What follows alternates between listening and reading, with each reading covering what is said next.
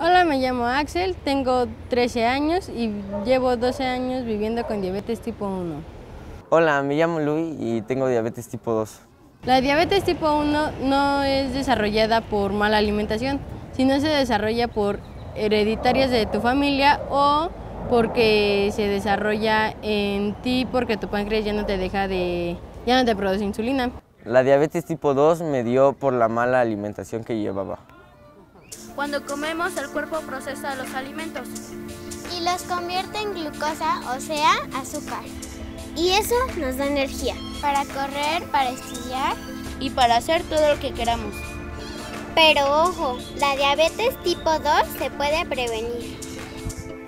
Y lo que ha cambiado es que mi, mi dieta ha sido más estricta gracias a que he comido frutas, verduras y mi, mi, plato del buen comer.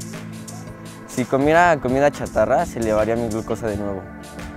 Estar saludable no nada más es comer bien, es hacer ejercicio y siempre estar en forma.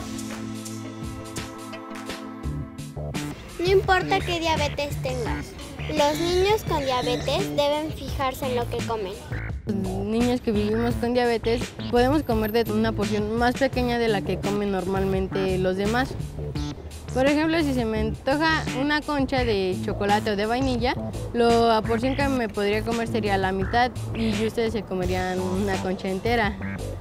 Puedes comer de todo, pero de algunas cosas solo puedes comer una vez cada cuatro meses. Como niño con diabetes también hacemos mucho ejercicio. Por ejemplo, la diabetes no te limita en nada. Tú puedes jugar, nadar, puedes hacer lo que quieras, siempre y cuando te estés monitoreando para que no tengas una hipoglucemia, que sería una baja de azúcar.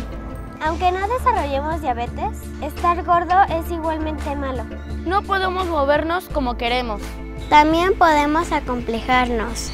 Pero lo más grave es que nos podemos enfermar después. De diabetes. Del corazón o tener problemas circulatorios. Por eso hay que hacer ejercicio.